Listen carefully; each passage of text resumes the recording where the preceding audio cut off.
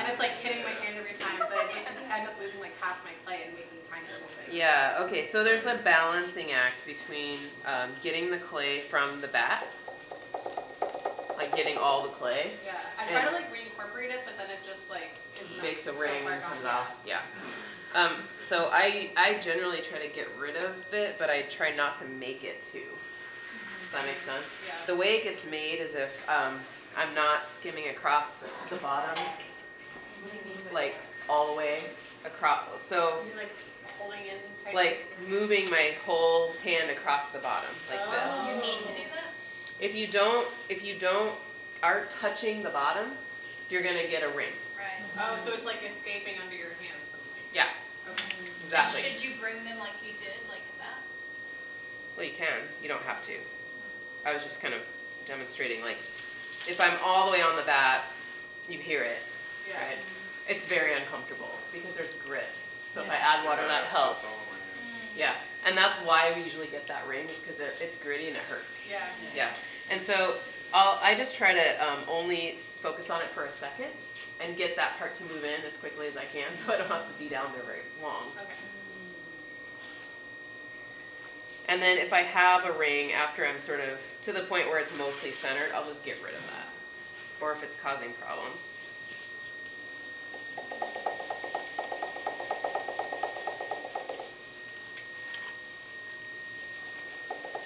If my clay is really hard, um, and I really need a lot of water, I'll keep my sponge in my hand and just very lightly squeeze it, and that adds water.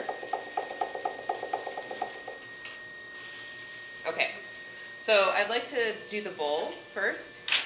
Oh, sorry, at this point, could you just review how you know it's centered? Because your hand has stopped wobbling? Right, my hands stay put. Okay, so to get a bowl, I actually need to start wider than you would expect. And remember that we're gonna trim the bowl. So the end, the end result is not really gonna look like what it looks like when we take it off the wheel. Um, really just the inside curve is gonna be the same. The outside curve is gonna look more like at the very top, like the top two thirds are gonna be bowl-like, and then it's just gonna be straight down.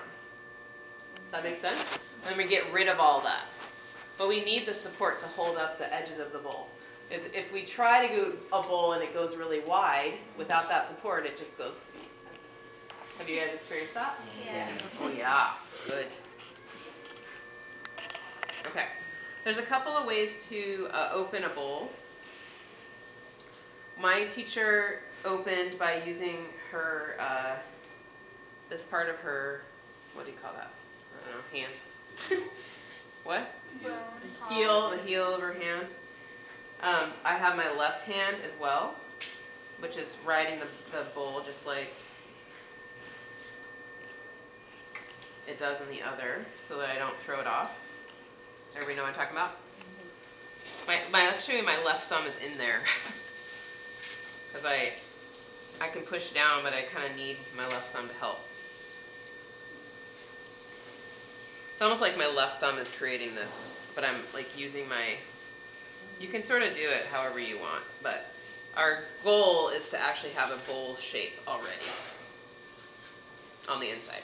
The outside, not so much. Now I'm going to compress, so this is compression. So you go from the top to the bottom.